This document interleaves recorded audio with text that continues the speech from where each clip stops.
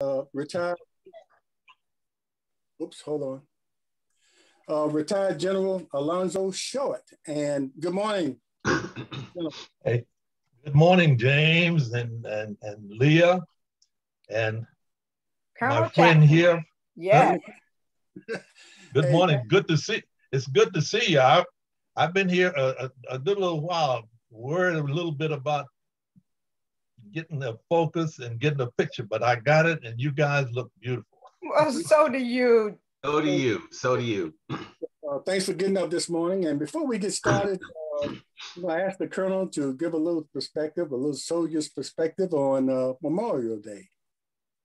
Well, you know, Slim, uh, Memorial Day is probably one of my is my my favorite uh, uh, holiday of all of the holidays that we uh, celebrate as far as uh, federal holidays because I look at it and you know I'm a retired nurse and I look at uh, my past and on my past and our country's past and this is a day that we honor all those who have uh, served who have uh, put on the uniform to uh, make this day possible and then we then we look back and we look at the past, but then we also look at the present. And then we also want to honor those who are in uniform now because we celebrate our uh, countries and our military because one, we have a uh, a military that is all volunteer, and that is something that stands out amongst all the other uh, countries in the world. And then I look at our future and uh, and so and our future is is bright. If we get over this as we were talking before if we get over this bump in the road of those who want to overthrow our democracy that we are uh, undergoing now. So i go back from a philosophical uh, standpoint of memorial day today is i look at past present and future and so, in that concept, in that conceptual frame, framework, I celebrate this holiday. So I'm, that might have been tight right there. yeah, we appreciate it. I, you gave us just what I expected. Thank you. I really appreciate that. And I want to give a shout out to our cousin, John Gantz. He's watching uh, from Texas, and uh, he's a former Army paratrooper. So uh, uh Johnny, how you doing? Thanks for getting up early. I know it must be about one o'clock in the morning there. I, I don't know. But anyway, before we get started with the uh, General uh, Leah, I think oh. we always honor one of our citizens uh, doing these programs. So I believe you have someone that we want to recognize this morning. I do have someone we'd like to recognize this morning. And I am excited because we will recognize the brother of our honored guest on this morning. Um, we this morning we, we recognize Harry Lee Short. And Harry's bio begins by the ultimate measure of a man is not where he stands in moments of comfort and convenience, but where he stands at times of challenge and controversy by Dr. Martin Luther King. Harry Lee Short a Portsmouth native, was educated in the Portsmouth public schools. He graduated from IC Norcom High School, where he excelled in the fields of sports, football, baseball, and track and field. Short received his Bachelor of Arts degree in political science from Virginia State University and pursued further studies at Georgia Tech and Old Dominion University. Short is the son of the late Alonzo Short Sr. and Rosa Moore Short. He said he admires his parents more than anyone because they inspired me to accomplish goals regardless of life's obstacles. It's that mantra that has helped him throughout the years in his quest to be the best of whatever you do.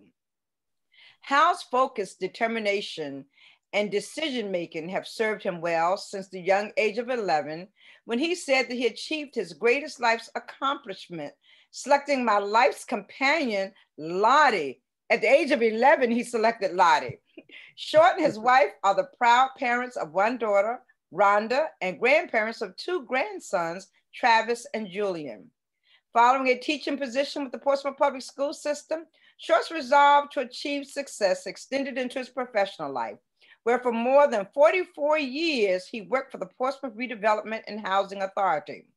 Short began his career at the authority in 1972 as redevelopment coordinator and continued his success as director of administrative services, director of administration and management, and director of operations for administration and housing.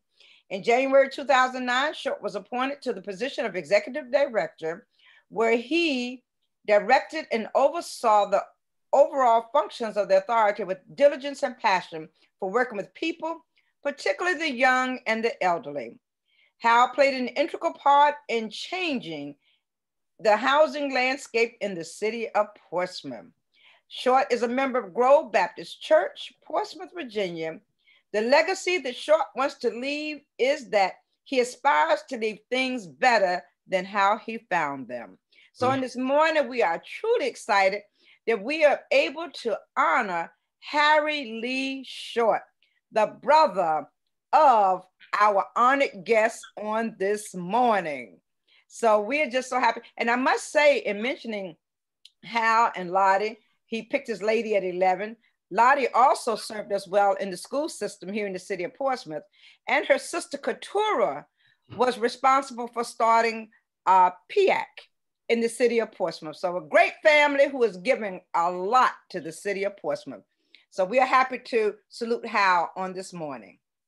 Well, thank you, Liz. It's funny how that worked out, isn't it? It's funny how that worked out this morning.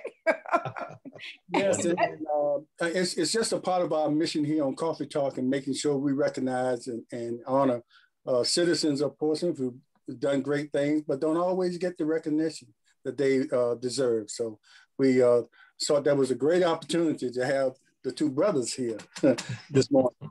And as Matter of fact, uh, their parents lived down the street from me growing up. I, I, know the general kind of grew up in Mount Hermon, but uh, I think Harry grew up in, in Acadia Heights. Am I correct, correct, General? Well, but I did too. You know, I moved uh, from Mount Hermon uh, to Arcadia Heights. Oh, smart in, move. In, in, in 1951. So I, I had some time there with you. Yeah. Okay and by the way, uh, John Gans said to you guys, hoorah. I guess that means something to, to you all. Oh, Lord. Hoorah. Hoorah. Yeah. Hoorah. I'm sorry. Mm-hmm. That's and, the old airborne cry. Oh, when you're jumping out the plane, I guess. Mm-hmm. Yes. Perfectly, perfectly good airplane. Yeah. Just wanted to say, uh, okay, and our special guest, General Short, uh, is here and a graduate of IC Norcom. 1957, and Virginia State University. And uh, I wanted to mention that, and we'll, we'll talk more about his military career with uh, the colonel. But I mm-hmm. wanted to some of the things, uh, especially something, uh, a, a, special moment at IC Norcom. Uh, well, all of us there know that a lot of our preparation started right there, uh, as far as preparing you for leadership and, and, and a lot of other things in life there and as well as Virginia State. And um, I wanted and to talk Norfolk State and Norfolk State, young man, but go ahead. And, and Norfolk State and, and, Virginia Union and University and Elizabeth City. but anyway, I want to talk about the uh, uh, General. You had a period when you were playing football. Now I don't think this has happened since. Didn't you have a uh, season where the defense was unscored on unscored on for nine games. For nine games. In the tenth game, in the tenth game, we played Booker T, and they scored on us more than we scored on them. Oh, won the game. yes, but for nine games, for nine games, nobody crossed our goal line. Mm. Wow, not even a field goal. Not even a field goal. Wow. but, but oh, by mentioning that, and, and, and you end up uh, going into the military, but how significant was uh, your, your days at IC Norcom and, and going into uh, uh, Virginia State? I, I, saw somewhere where you mentioned Doc Hurley had a big influence on you as far as uh, you know getting you prepared for leadership and life in general. Well, you know, I I, uh, I started uh, Norcom as a freshman in 1953, 53. And it was the same time that the new school out there on uh, Airline Boulevard opened. And that was the same year that Doc Hurley uh, came to Norcom as a football coach. Mm-hmm. Well, at that time, I was 13. I went out for football. You know, I was sort of a big gangling guy, and Doc Hurley, Horace Savage, and Bob Smith mm. sort of took me, uh, you know, as a project and say we got to do something with this big guy. And and uh, those three men uh, were very very instrumental in helping me because I was an undisciplined uh, guy, you know, and, and, and I didn't bring a lot of polish. And they were able to work with me, train me, discipline, taught me uh, discipline and leadership, and and and and and helped me also uh, with uh, with the, the, the football. Those uh, three men uh, in my life helped shape me and made me much more disciplined for the things that I would face later on in life. Mm. Mm-hmm. I knew that would be a, a would have some significance in, in how you ended up later on with a military career like you did. Leah, I know you have some uh, questions concerning before before the colonel and the general get into this military thing, uh, which we probably will have to sit back and listen. Yeah, we'll have to sit back today. Today we will have. oh no, no, no. but um, General Short, what moment uh, or what other teacher at the in the Norcom family inspired you during the time when you were there at Norcom High School? Well, you know, I, as I think of my time at Norcom, I was inspired. Every, all of us were inspired by Mr. Waters. Yes. our yes. But uh, uh, Mamie Vick, uh, Mrs. Waters, uh, uh, Mrs. Foreman, uh, John McGriff. But something happened my last year at Norcom there was a teacher there that, that taught math, Jeanette Eason. Yes, Miss Eason. Jeanette Eason uh, lived on Pinewell Street, uh, uh, uh, Jim. Mm-hmm. And uh, she said, I want to see you, uh, Short. She, she walked up to me, and if you didn't know her, she was kind of frightening. Yes. She, you know, she, she could be very, very sharp with her words. And she said, You know, I'm proud of you in one way but I'm disappointed with you in another.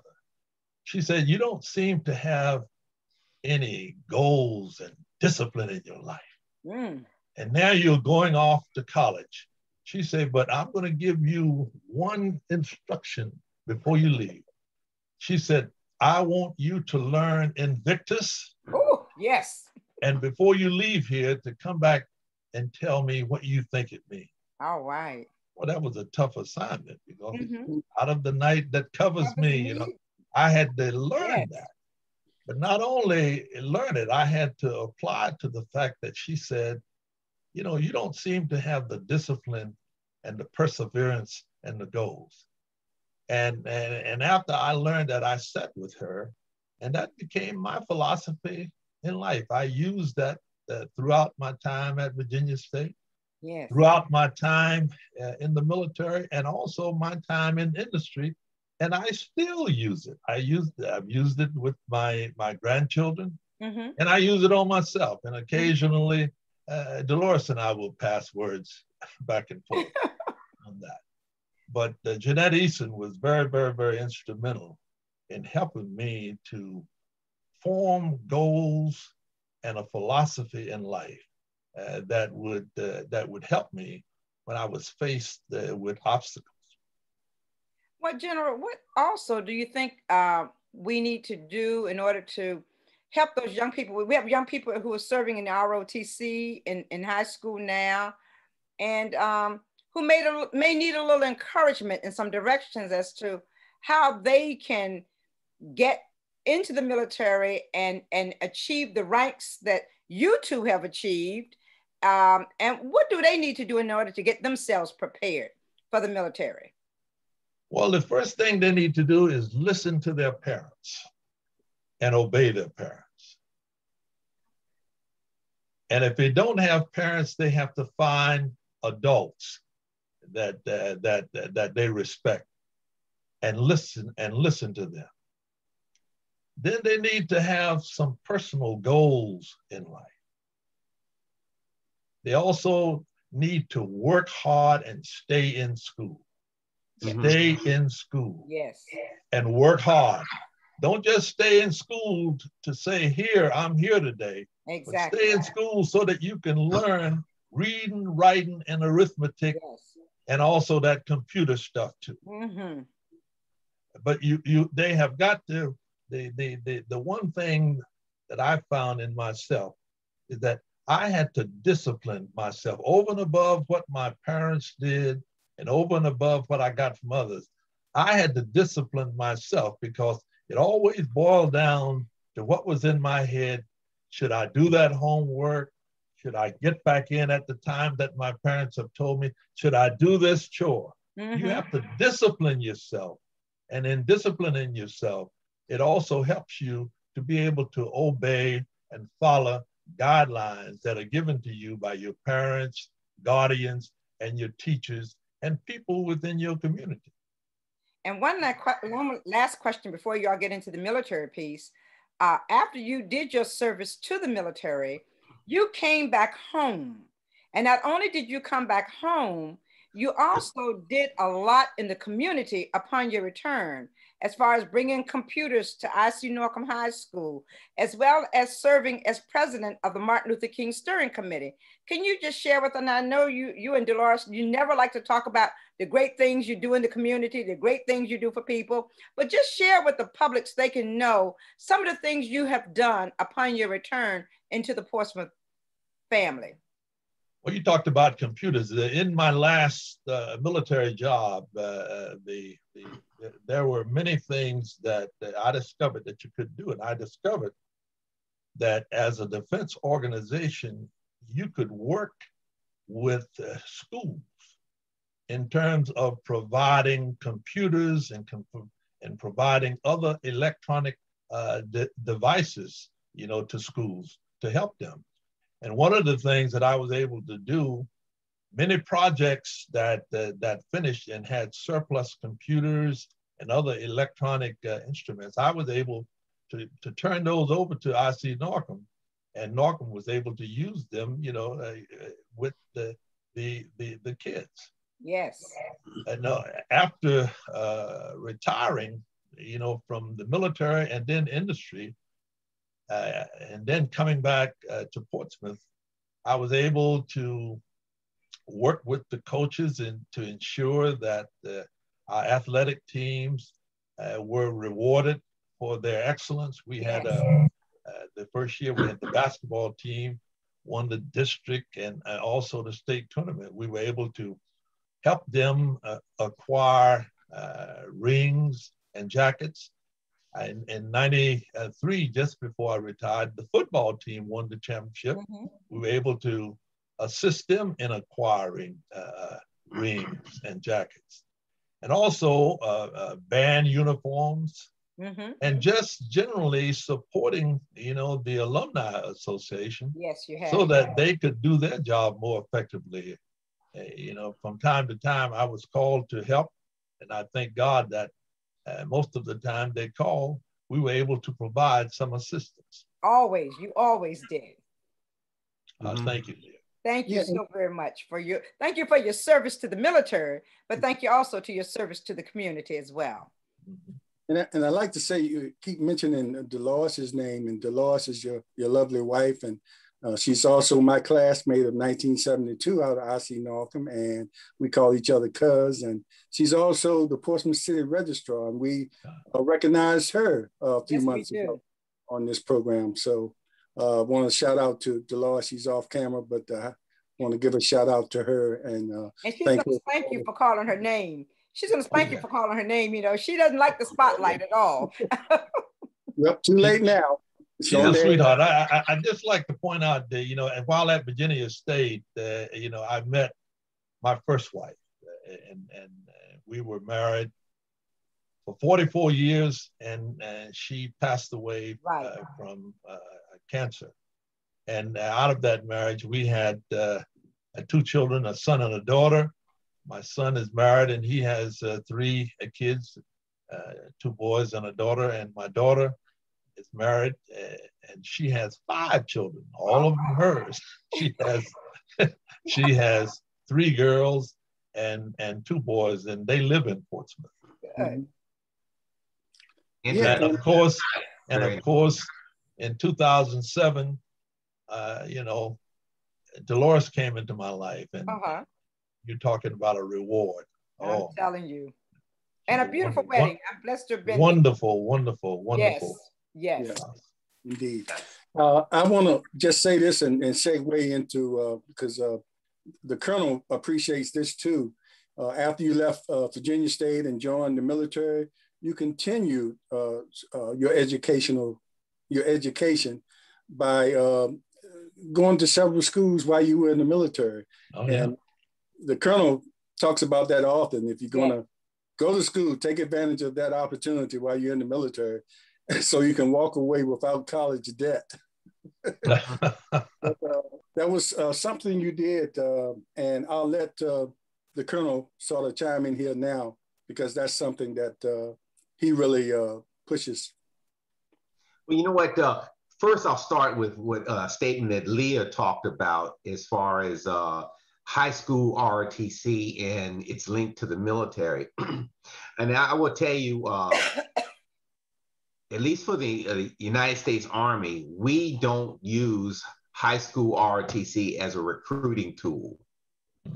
We understand that investment in high school ROTC and the students that uh, participate, they statistically have a higher chance or a higher percentage of graduating uh, high school than those who don't participate in uh, RTC. And uh, General Short was talking about having those parents, the uh, cadre in uh, high school RTC are the mama, the daddy of that child. And many times when that parent at home is out working or not working or not doing what they're supposed to, and so that that that that cadre is is a substitute for them. And so I just wanted to let you know that. So it's not a mm-hmm. direct link for recruiting, but it's a it's a uh, it's a an investment that they spend multi tens of millions of dollars across this great country for uh, us to improve the educational uh, pursuits of high school kids. So I just wanted. Yeah, I, I think that's wonderful, and and you know, and and and and you know the rewards. Yes. Uh, that you reap by from doing that. Yeah. They're great. Yes. And then uh, I think Slim talked about, well, he was leading into this uh, about RTC and you being an RTC graduate and mm-hmm. going to an HBCU school. And I believe that that is the uh, uh, the number one uh, filler of officers for our military is in the RTC because the academies don't graduate enough uh, mm-hmm. minority officers, black and brown mm-hmm. folks. And so we have to always look at our uh, our uh, HBCU schools and uphold them. But before I get there, uh, General Short, you talked about your three mentors. One of them being Mr. Horace Savage. Yes. Yes. Uh, just so happens, I'm gonna tell him you said hello. He lives across the street from my parents. Oh, he's a wonderful, wonderful, wonderful man. Yes, wonderful man. I love him. Yes. And so I'm going to tell him that you said hello when I see him. Matter of fact, I'm going to drive out there this, this uh, you know, probably today or tomorrow, and I'll try to go look him up and say hello to him. Okay. Yes, but anytime, uh, anytime they were doing something for Har Savage, I tried my best to get back. Yeah.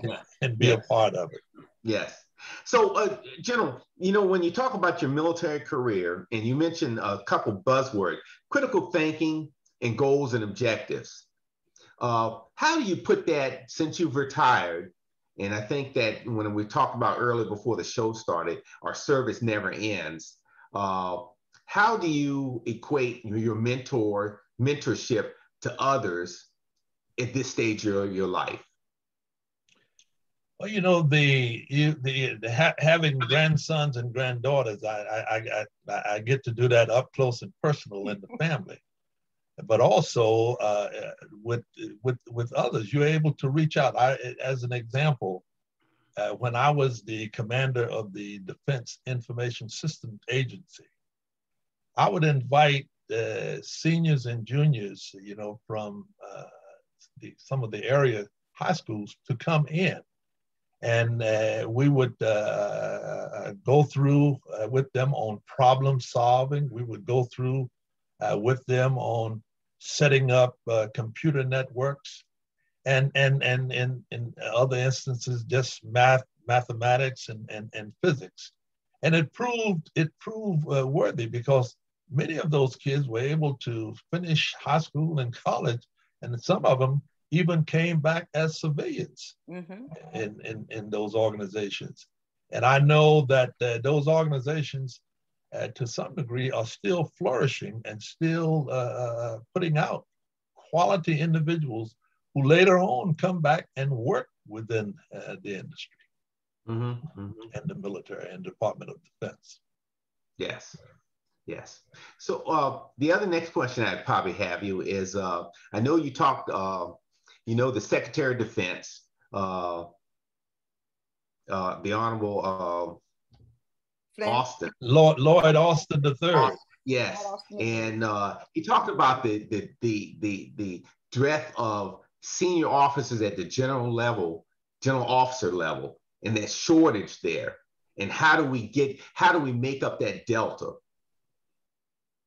Uh, uh, the shortage of general officers? Yes.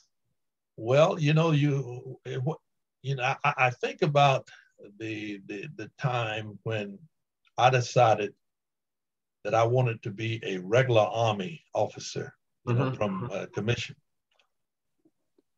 There were a number of uh, outstanding uh, black officers that were part of our ROTC cadre. And they took time not only to talk to us you know, in the classroom, but also out on the athletic field, you know, even in our dorms uh, sometimes. And, and, and, and not only that, they invited their friends. And it seemed to me that there was just a plethora of outstanding officers. And what that did, that created in me further desire to want to be an officer. Mm-hmm. And, and, and, and, and back to your question, I think what we have to do today, we got the, the junior ROTC and the ROTC programs, you know, within uh, uh, high schools. We used to have the Boy Scouts, but I don't know what happened. They, right, I know right. instrumental in my life was I was a, a, a, a Boy Scout mm-hmm. in Celeste Baptist Church. And what that did, that sort of triggered in me the the the the the idea that you need discipline in your life and mm-hmm. you got to have uh, uh, uh, discipline in order to do most anything and i think now as we as we look around we have got to not uh, be spooked by all that's going on politically you know in terms of uh, going out and recruiting outstanding young men and, and, and, and young women uh, for the armed forces. We have to go out and do that. I do that uh, now when I speak to uh, young groups, when I used to talk to some of the youngsters in church. Uh, those who were uh, had were doing well, you know, academically in high school, I would tell them, think about the military mm-hmm. as a career. I said there are many things that you can do. You can you can broaden your education, mm-hmm. you can broaden your experience, you can travel. Mm-hmm. There are so many things that you can do that that are positive to your life and yeah. living. Mm-hmm. Mm-hmm. Yeah, and, and, you know that is a true statement.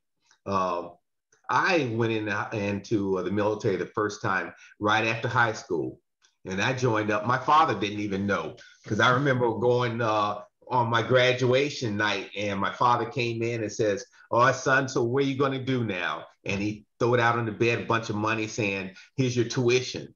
And I told my dad at that time, I says, You know what? Dad, I'd mess up that money and that I've already joined and I'm leaving and I'm going and joined, I've already joined the army.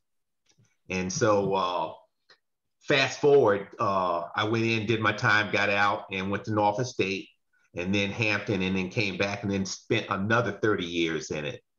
And so uh, it's probably the best thing that I've ever did as far as life learning things and, and the same things that you talked about discipline and uh, and learning the critical thinking and enjoying life.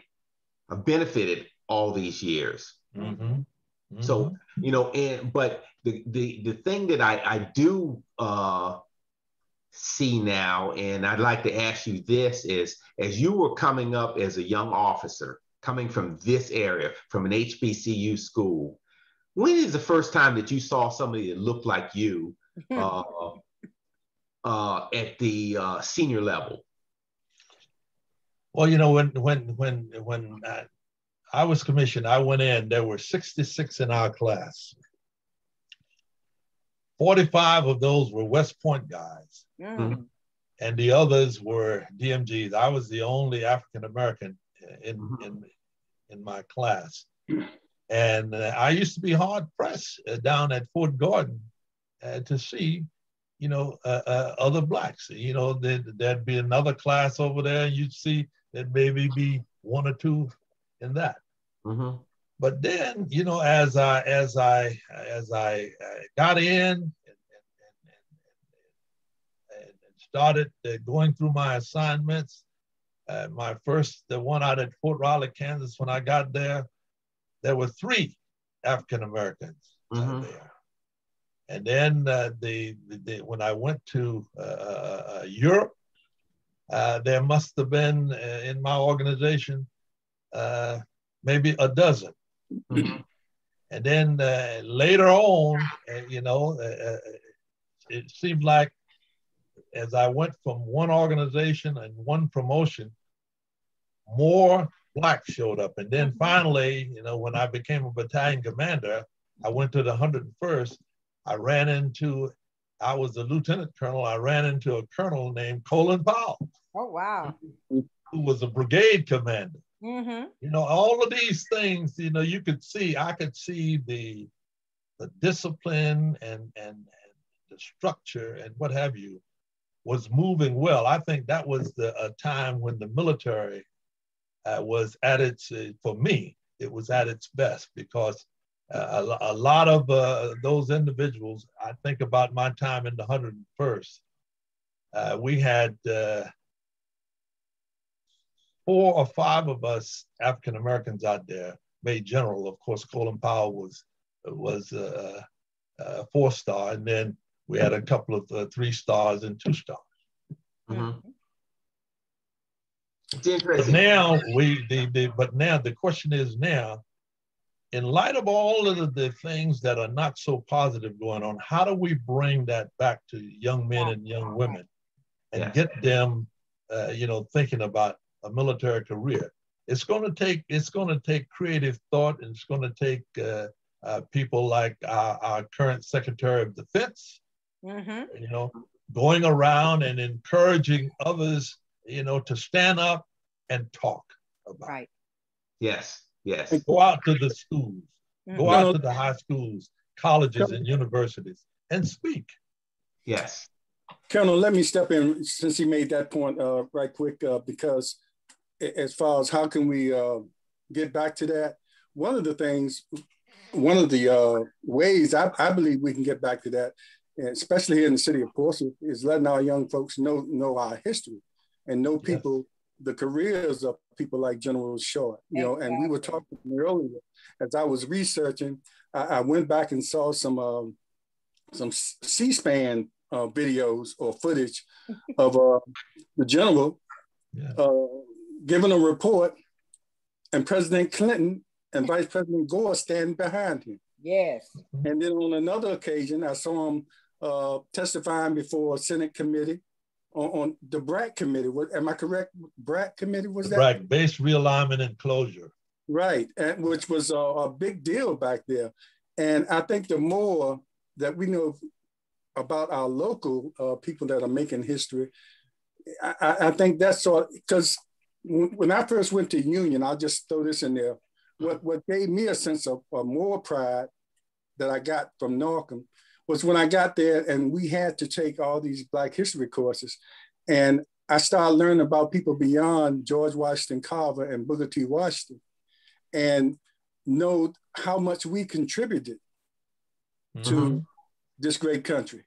Yeah. And I think if we know, if, if the kids know the history now and, and know people right here in the city of Portsmouth that they, they can feel and touch, I, I think that would help bring back a sense of pride yes. and, and maybe improve that. And I'll throw this question in here. When you were going through all that, uh, when did the reality set in of all the history making, I guess, the history making moments that you were involved with? Yes. Well, you know, the, the, uh, I, I, can, I, I, can recall uh, when I became commander of the Defense Information Systems Agency. Aside with that, I also became commander of the White House Communications Agency. Mm-hmm. And as such, you know, I worked for uh, uh, two presidents, George H.W. Bush and William uh, Jefferson uh, uh, Clinton. Mm-hmm. but also in those jobs, I had the opportunity to to get out and and and and and and and, and, and, and meetings, you know, in and around, uh, you know, the, the, the the White House, and in and around, uh, uh, you know, the the the the, the other uh, other defense and and governmental institutions. And, and, and, and, and what this did, you know, it, it showcased you. And from that, I used to have uh, the high school principals and individuals from the colleges say, "Can you come over and mm-hmm. speak to our kids?" Mm-hmm, mm-hmm. And and each time I got an opportunity to do that, I tried to do it because it made a difference. And and and in doing that, I got a lot of the kids out of the the, the Howard into our intern program. Mm-hmm. And some of those individuals stayed in that program and ended up uh, being GS 15s and, and, and, and what have you within the government. Mm-hmm. So the opportunities are there, but you know we have to take them, and and and we have to understand that what's going on around us, just like everything that's going on around us now, sometimes that can sink you a little bit. Mm-hmm. You know, you mm-hmm. see, you see, you know, all of the stuff that happened on the the, the 6th of January, you see about the voting, you hear about all these other things, and it says, and sometimes if you're not careful, you can say, well, you know, why should I exert myself? But you should, because that's the only way that we're going to overcome that is getting in there and working and showing the, the, the younger people that it is worth getting behind, uh, you know, the, the United States and and democracy and our Constitution and yes. pushing it forward and then trying to make it equitable for everybody. Mm-hmm. Mm-hmm. Mm-hmm. General, what do you think? Um, what have you noticed as the reception for the new? Um, I, am just at a loss of his name right now. The gentleman who took over um, in, I guess I'm trying to make sure I have the um, position correct, who's taken over the military. Oh, Secretary of Defense. Yes. I'm yeah. I, had a, Lord, Lord, moment, had a senior moment there. Please forgive me, okay? yeah, his name is Lloyd Austin. Austin, Lord Austin. What, what do you think his his reception has been? What have you heard? What are you hearing? How are they receiving him as Secretary of well, you know, it, it, at first I started listening to the wrong group, and they were saying, "Well, he didn't have enough time." Right. You know, right. And, but then I got to thinking. I said, all that this man has done, yes, you know, yes, he is eminently qualified, you know, for that uh, position. And you know, he's uh, the, the I can remember uh, when when I was just about ending my military career I think he was working uh, in a job. He was a colonel at that time, promotable, working in a job uh, directly supporting uh, uh Colin Powell, who at that mm-hmm. time, you know, was the, the chairman of the Joint Chiefs. and uh, and and and and I was impressed with him because he was a big man, and mm-hmm. and, and and you know he didn't didn't bow or what have you. He looked you right in the eye, mm-hmm. and he told it, you know, straight. He told a, a good straight story, and I said, this guy is going to go places. Uh-huh. And I've been, I, I have listened to him since he's been in the position of Secretary of Defense, and I think it was a wonderful choice. Yes. I think and I think it will be individuals like him and several other uh, uh, generals that we have in there that will once again bring back, uh, you know, the, the, the, the, the, the, the attraction, you know, to the military, to attraction to being an officer uh, in the military. Right, right. You know, that, that's a key point too. When you look at other senior officers, and I always looked at it and uh, that senior officers have to be out there to talk about and not be afraid to talk about diversity. Mm-hmm. And uh, and what does diversity bring to the overall system or the organization? Because diversity strengthens our organization. And too long, especially during the uh, last four years, uh, diversity was a no-no. You couldn't speak of it because they used it uh, because it came from the White House saying diversity was a bad word. It was uh, a, a uh, race-based uh, tinge to it, and so. Uh, but also, and, and, as I digress here, uh, when General Short, you was talking about when you was going through your assignments, you saw three African Americans here, two here, this and that, and those numbers. And you know what? What the key point is that they were all less than the fingers you got on one hand. Yeah, yeah, yeah. yeah. And, and, so that's and then even in my own career, uh, when I got promoted to uh, 06, uh, and I'm an Army nurse, you know, I was the uh, seventh African American uh, black male to be promoted to 06 in our nation's history.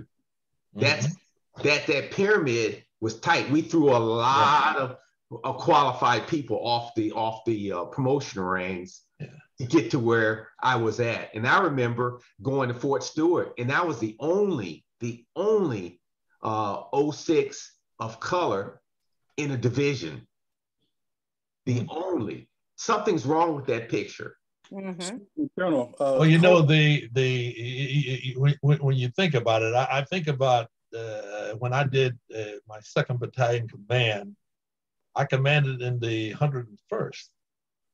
Well, in the 101st, I had a black deputy, and I had uh, of the, the the four battalions, I had uh, two black uh, battalion commanders, mm-hmm. and I had at least uh, uh, three or four field grade officers, you know, S3s, S4s, and what have you, within that unit. And also, when when I did my brigade command at the Third uh, uh, Signal Brigade out at uh, you know Fort Hood, Texas, I also had a black uh, deputy out there. Mm-hmm. You know, and and and and and we displayed ourselves mm-hmm. as, as, as, much as we could. You mm-hmm. know, but but mainly through just good performance. Mm-hmm. Yeah, I used to tell guys that you really, really you really want to shine, just perform well and have yeah. dis- and have discipline in your life and always the, the, the, the, what I tell young people seek excellence in everything that you do. Exactly. exactly. Seek excellence in everything that you do. Don't do one thing well and say, well, I'm going to uh, slough off on the other thing. Mm-hmm. Seek excellence in everything that you do. Right. James. Let me uh, be better than. James, let me uh, step in just for a minute. I just looked up at the clock and we we're past. We just have to close out the radio portion of this, but we will continue on Facebook Live right here on Zoom. So uh, I just want to say thanks all the listeners on WGPL 1350 AM for listening to us today uh, with our special guest, Lieutenant General Alonzo Short. And stay with us, Facebookers. Uh, we're going to continue the conversation uh, like we're going. So I just want them to hold that thought. So I, I, don't know, Colonel, if you want to do your spiel or you want to yes. do it later or do it now. Well, yes, and, and for those those those folks that are out there in electron lands, we also have to uh, pay our bills. And, and so if you like what you're seeing, uh, we were always seeking uh, sponsorships or donations, and you can send it to uh, Portsmouth Coffee Talk at P.O. Box 7664, Portsmouth, Virginia. And it the zip code is 23707. And we'll and and give us a shout out in our email, and Slim will give us our email. The email is Portsmouth Coffee Talk at yahoo.com. That's Portsmouth Coffee Talk at yahoo.com.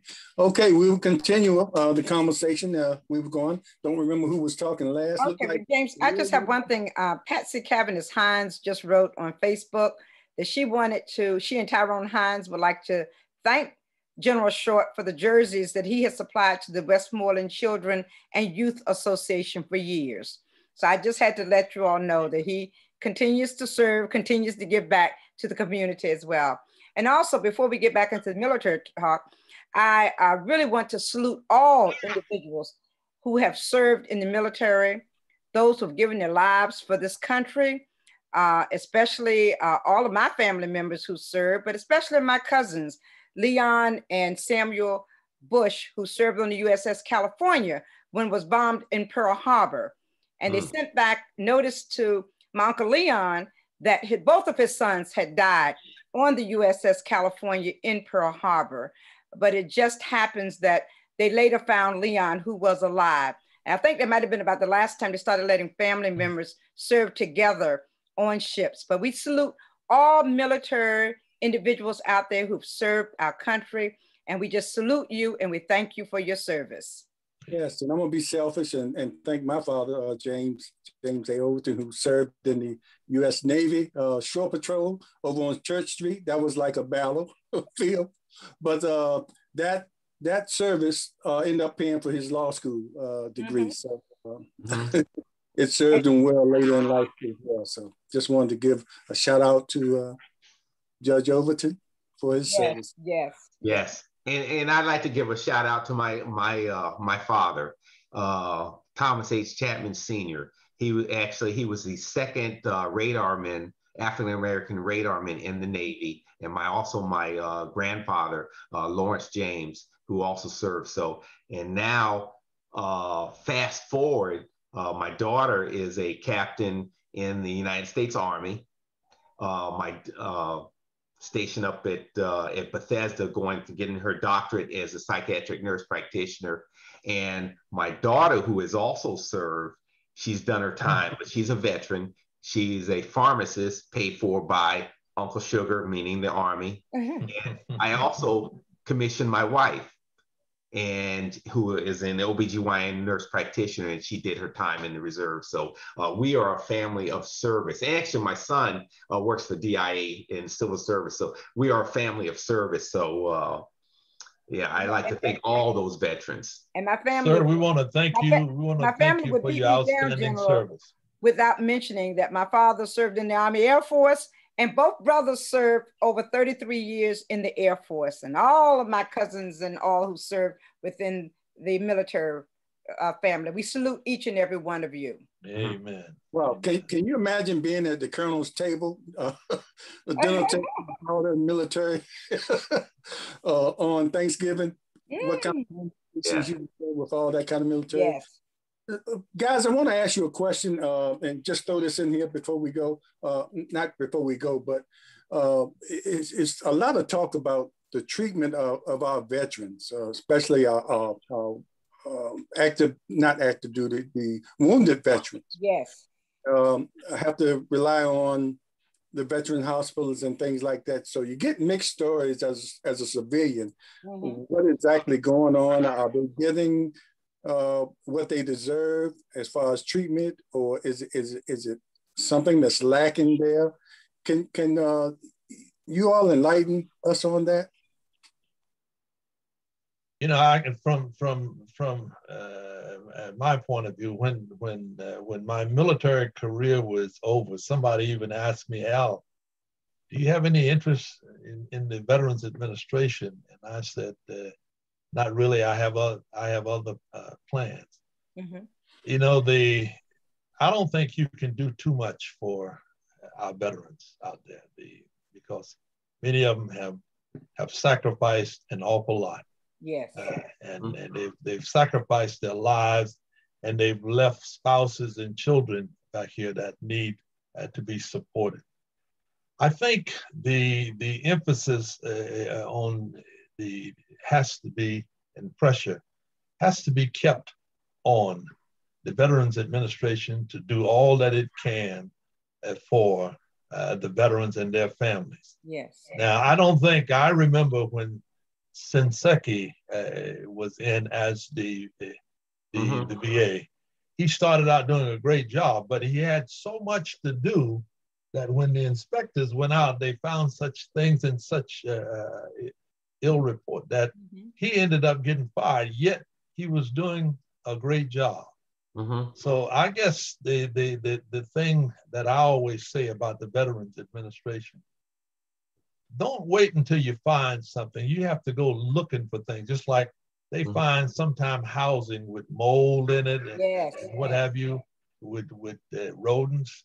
Mm-hmm. You have to uh, uh, don't wait for the inspection. You have to go out and check these things to make sure that the veterans and their families are being treated properly.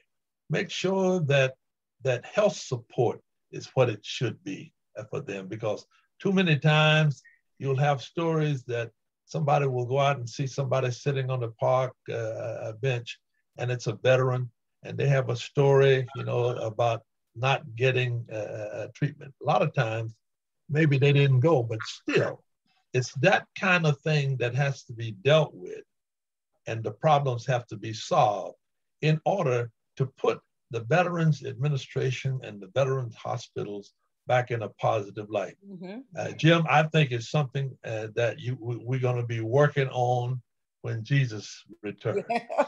We're going to still be trying to figure out That's how true. we can improve it because you're going to always find problems. So it's something that requires continuous hard work. Yes. Mm. And I echo that because, you know, the, the Veterans Administration is the largest healthcare system in our country.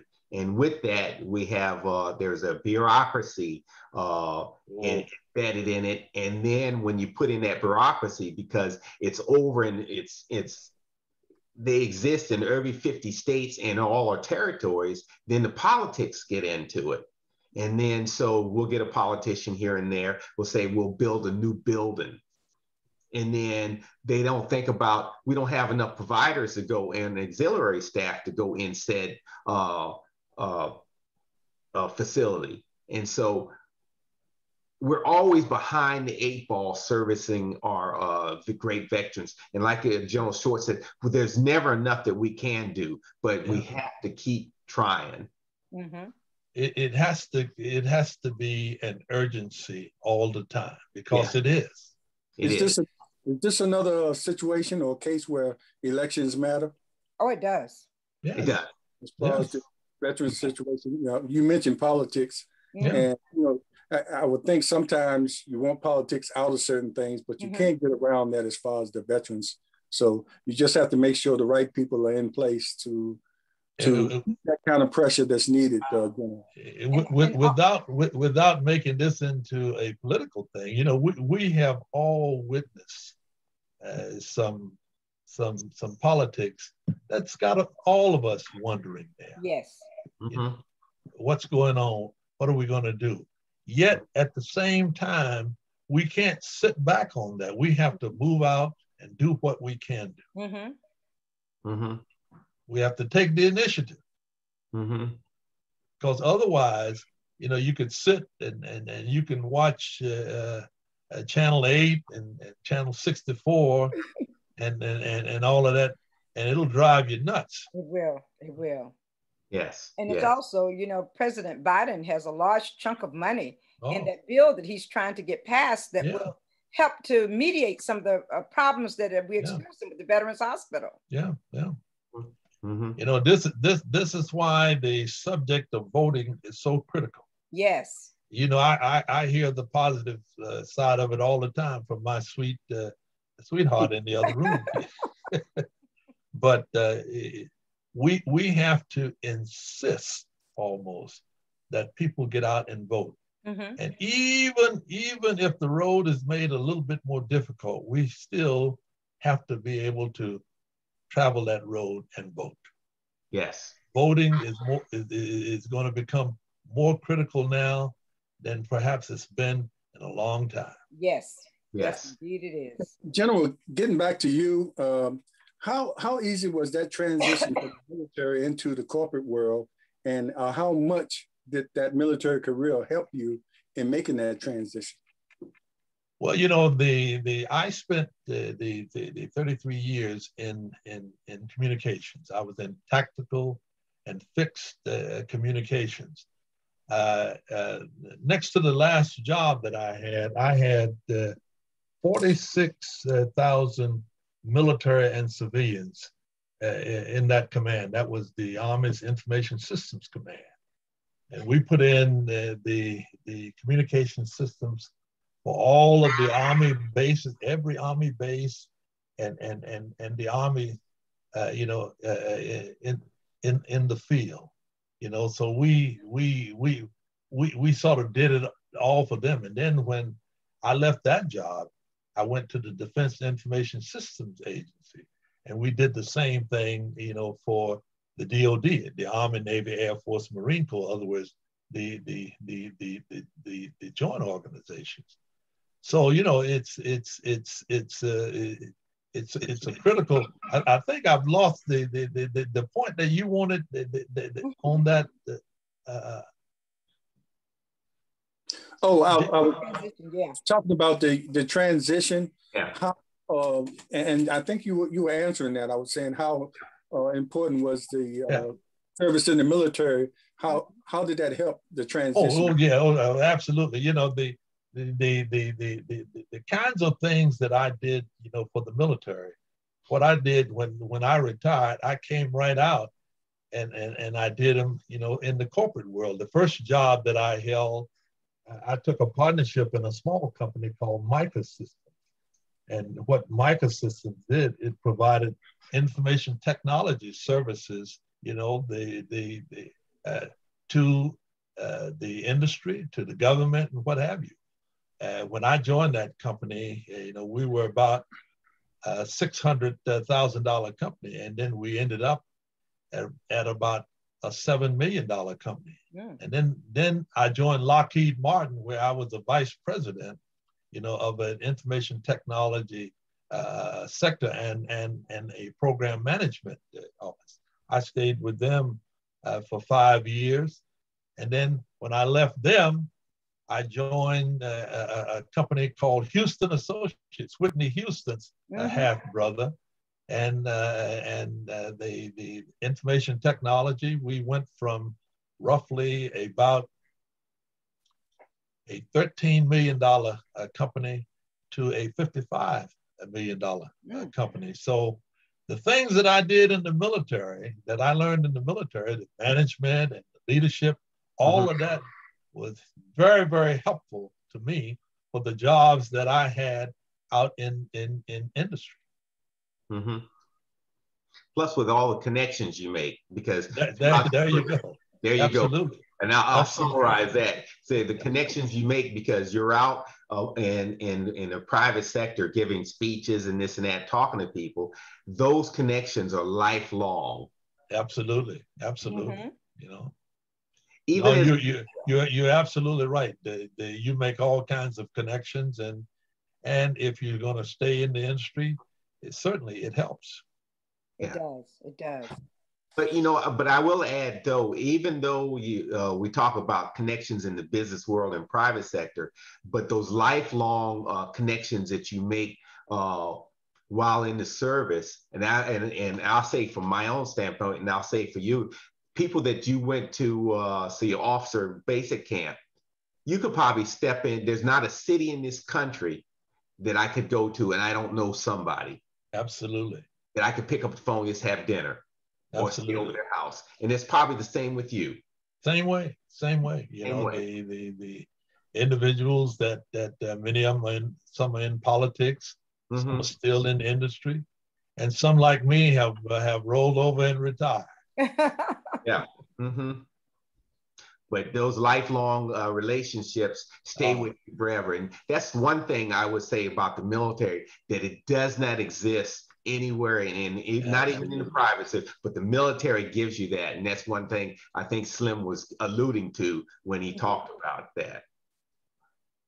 You know, the the the, the one thing we hadn't talked about, the, the, the military, uh, uh you know, uh, when when when President Truman signed Executive Order 9981, mm-hmm. and that is eliminating discrimination, mm-hmm. you know, out of the, the, the, the, military based upon race, color, religion, and, and, and origin. Yes. That, the, the, the, the, the, it should be studied because I think that went uh, as about as well as it as it as it could be in terms of what the military had to do you know, eh, its mission.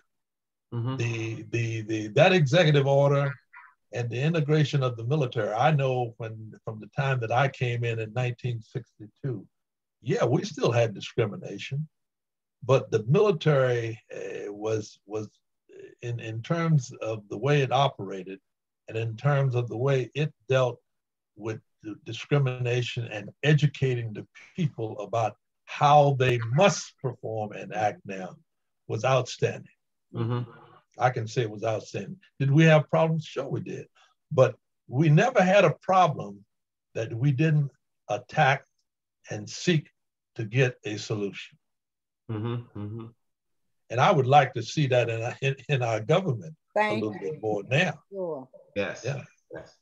Yes.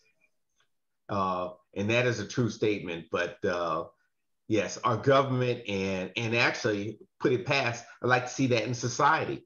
Oh yeah, yeah, yeah. yeah. You know, our society is so uh, it's gone off the rails. It yeah. has gone off the rails. What's happening in this country?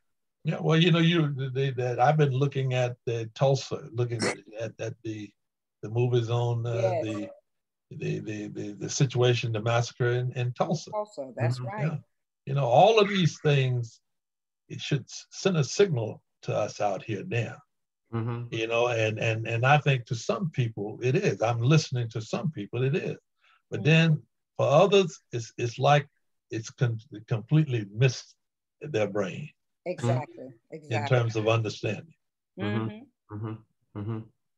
One thing before we, I know we're getting to the end of the show, is uh, when we're giving out shout outs, and I'd like to give two more shout outs to HBU uh, school uh, graduates, a uh, mm-hmm. Lieutenant General Rochelle, Norfolk State grad, yeah. and Lieutenant General Williams, Hampton University. Yeah. Uh, we always look at, and I've always looked at uh, at the two of them. And I remember I was at when General Shell was up at Fort Knox, and mm-hmm. I would, I'd be on campus, and I always had my Norfolk State jersey on and I'd see him in PX and I would tell him, I would tell, I would tell him, I says, you can't do this like I can do this. and I'd pull up my shirt and say, yeah, Norfolk State, you know, because he was uh, at the time he was in uh, charge of recruiting command and he really couldn't do, you know, favor yeah. one over another. But yeah. I, you know, I, I'd like throw that at him. so it's all good. You know, I think I think all of us would say that the, the, the military is still a very, very good deal.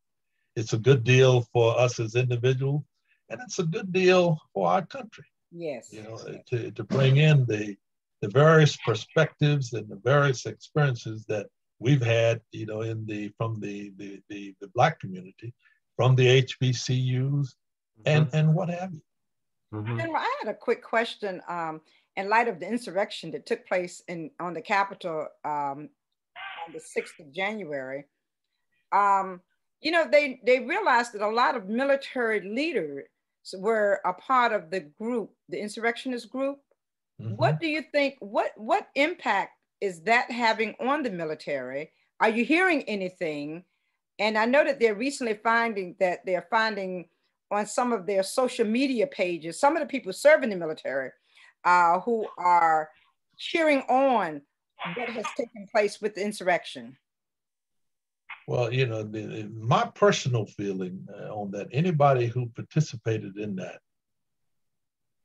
they should be dealt with in accordance with the activities that they performed while they were in there. Mm-hmm. If they were part of tearing down and breaking and what have you, they should be dealt with mm-hmm. because uh, those were criminal acts and they should be dealt with uh, by that. I, a lot of investigations are going on now, and they have not published all of the names of, you know, and, and, and, and, and, and where they belong and organizations that they mm-hmm. belong to. But I think if they have uh, people in there who are associated with the military or other governmental uh, organizations, yeah. it should be dealt with seriously. Mm-hmm. Yeah, because they have members. Very seriously. Yes, yes, yeah. I agree with you there. But you know what, Leah? And I know the politicians and the pundits on TV talk about they use the word insurrection. Mm-hmm. Uh, I take a step forward to just call it like it is. That was a coup, an attempted coup on our system of government. Yeah. And we have to call it like it is mm-hmm. and, and, stop using, stop, stop peddling this and say that was an attempted coup. And those who were in uniform or prior uniform, mm-hmm. they have to be dealt with. They have to be dealt with. Harshest because yeah. they knew better. Exactly, exactly. I mean, yeah. they take the oath to defend their country. You yeah. take the oath to defend. Well, you know, the, yet you want to tear your country down. I, I think I think some of our political brothers and sisters are trying to save their party, but what but what they don't realize is that they're going to do irreparable damage to everything else. Exactly. Doing that. Exactly. Yes. yes. I even go further and says uh, it was a traitorous uh, oh. event. And uh, and I, will even go back that far. I'll just say it was a traitorous event. Was, those were traitors to our country. Oh yeah. What would they have done had they had had the Pelosi been able had they attacked them? What would they have done if if if they had run into Pence? Exactly. Yeah. You know. Exactly. Yeah. What would they have done if they'd run into Mitt Romney? Mm-hmm. You know. Yeah. You think they would have survived? Maybe. Yeah, they would not. Maybe not. Right. Yeah and, and and now they just want to put it behind them. Yeah. yeah. You know. Uh, well, you know, the the the the to to to to we've we've come to the point where some people will do almost anything to save the party. Yes. Mm-hmm. Yes. To save the party. Mm-hmm. One day, one day I'll say that this guy is terrible, and the next day I will say, well, he's okay. Mm-hmm. mm-hmm. He's passable. Mm-hmm. You know what I mean? Yes. That's terrible. We don't and, want this to turn into a political thing, but you know, we got one out there now that we're dealing. Yes, yeah. yes, all yes. of us. Mm-hmm. Yes. And General, you you said uh, you mentioned earlier that the military is still a pretty good deal, and. I think a lot of uh, the young folks that are considering military career, just like you had to go through your preparation through Norcom and, and Virginia State and getting ready. Uh, they really have to prepare now because it's not, uh, you know, the, going into the military is a little different now. Just like uh, UN communications, it's a lot different now with the cyber security and, and all the different uh, mm-hmm. yeah. uh, technology uh, and, and skills that you have to have to even qualify to go into mm-hmm. the military now. Mm-hmm. So uh, the young people have to start because I think uh, Colonel, I think one time you were mentioning how things can disqualify you early before yes. you even get in the military if you have that stain on your record. Yes. Uh, you know, so now you, the young kids, if you're thinking about it, you really have to be prepared or think about what what's necessary in order for you to qualify once it's your time to go in. Yes. Yeah, because one, uh, those waivers that you could have done years ago mm-hmm. don't exist anymore. They don't uh, exist. They don't exist, and so uh, if you if you if you're a young person out there, you think about uh, and you're hanging with the wrong crowd. Uh, I always said trouble will catch up with you. You may be Amen. a good kid, but if you're hanging with the wrong crowd, trouble will catch up with you. And then when it catches up with you, the boys and all the, the the people that you're hanging with, they will be like church mouse or like cockroaches. you won't true. be able to find them. That's yeah. true. and then so it will affect you down the road. Mm-hmm. You know, the the I would say the the the, the young man or a young woman have got to have a creed by which they live. You know, just like I said something, I said obey parents, mm-hmm. stay in school, study hard, seek excellence in all that you do, respect others, and I throw another one in there: keep Christ in your life, mm-hmm. seek a healthy lifestyle, and help others when you can, and also learn how to discipline yourself. Right. Discipline yourself when it comes to your study habits, discipline yourself when it comes to your finances, discipline yourself when it comes to everything that you do. That's the only way that you're going to be able to effectively lead and show others that there is positive things that can come out of having an ordered life. Mm-hmm, mm-hmm. Mm-hmm. Indeed. And and as we come to a close, uh, General Short, we'd like to thank you for uh, your very informative presence here this morning. And we will be remiss if I didn't mention some of these things, some of the uh, some of the awards that you've uh, received, the Legion of Merit, the Bronze Star Medal with Oak Leaf Cluster. I guess you all can explain what that means. uh, that means you got more than one.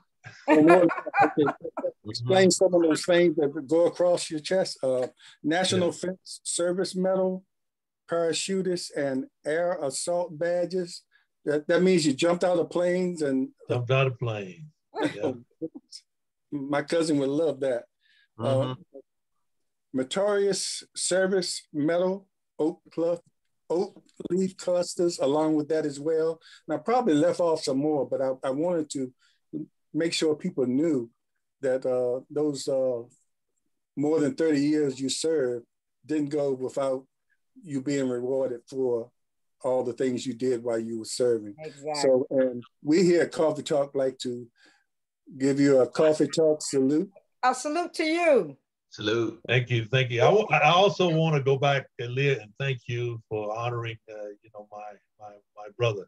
Yes. Whom I love, whom I love dearly. I know that. that. I know. And thank, thank, thank you, thank you for for having me on this uh, program. I think. Well, well, we we thank you to agreeing to advance to this new technology and taking the time to learn how to do it. yeah. And uh, let me just say, you did a magnificent job. Mm-hmm. And uh, I'll, I'll talk to Dolores about it later, but I, I do appreciate your agreeing to uh, be on this morning because you have offered so much to the city, so much to the country, and you continue to give to the city, to the country, and we we appreciate you so very much. And I mm. know the Norcom family especially appreciates you. And I'm just sorry that we're at a point in time where the, the young people at Norcom don't have a chance to meet individuals like you and Bismarck Myrick and those individuals who've given so much to each and every one of us. And again, I want to say thank you, thank you and thank you for your service. You're quite welcome. And we must figure out new ways to, to make our youngsters listen.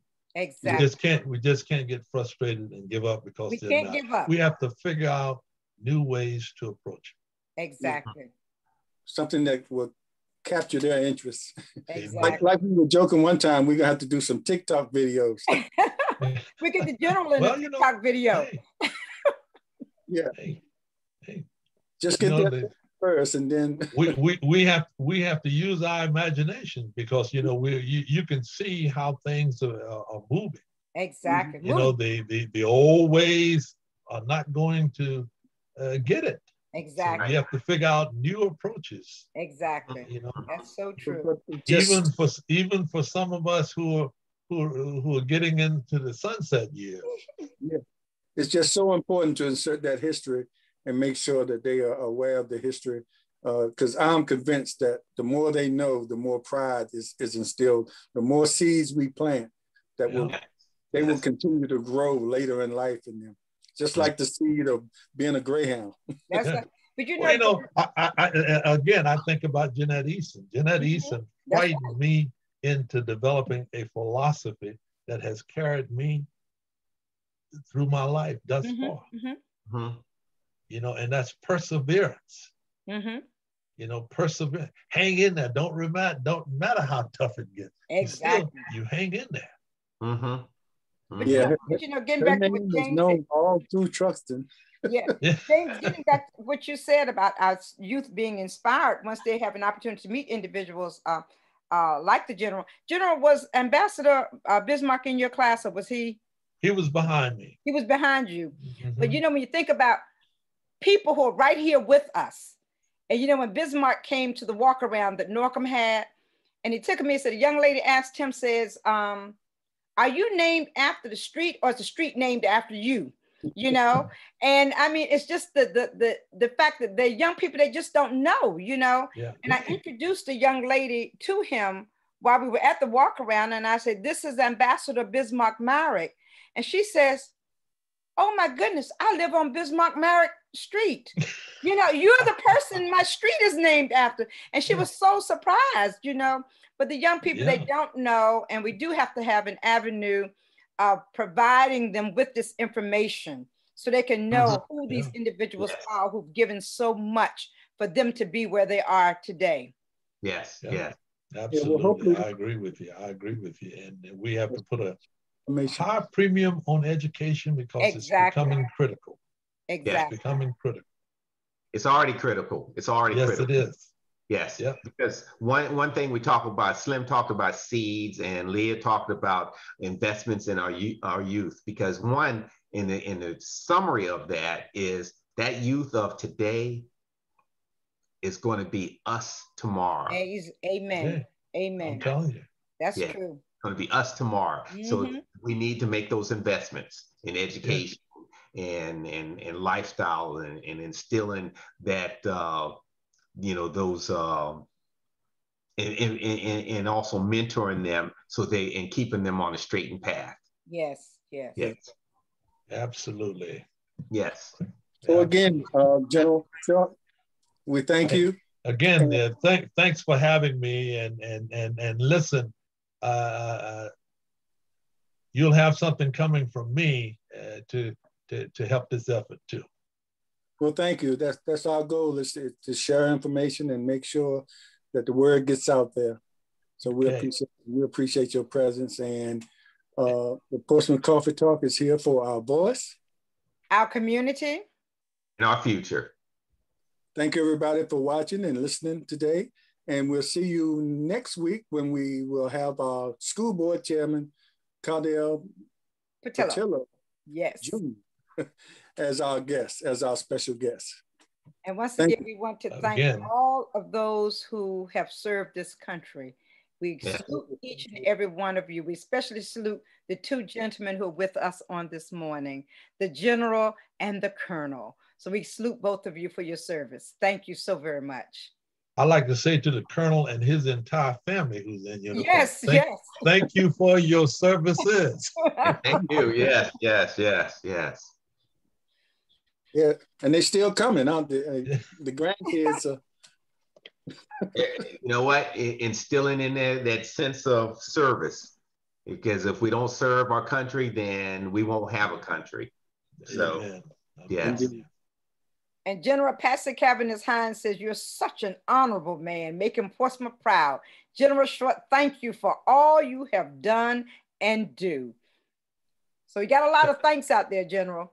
Well, I, I thank uh, everybody for the prayers and for the well wishes because that that encourages you to mm-hmm. to do want to do even more. Exactly. Well, we can do so much now from our home, so that makes it easier yeah. too. Thanks to modern technology, right?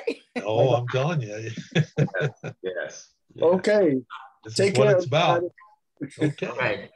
See y'all. Take care, Dolores. All righty. Tell Dolores okay. I said hello. Goodbye, and and again, awfully nice being with you in this uh, uh, this medium that that we've been in this morning. Thank you yeah. so very much. And we hope to have you back, General. Okay. Okay. Thank you, guys. Okay. Unplug, right? Uh, yes, I'm gonna stop this.